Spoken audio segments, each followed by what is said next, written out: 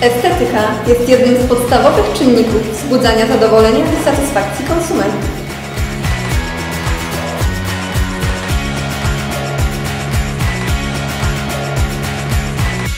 Tajemnicą dobrej obsługi jest stawianie siebie na miejscu gościa.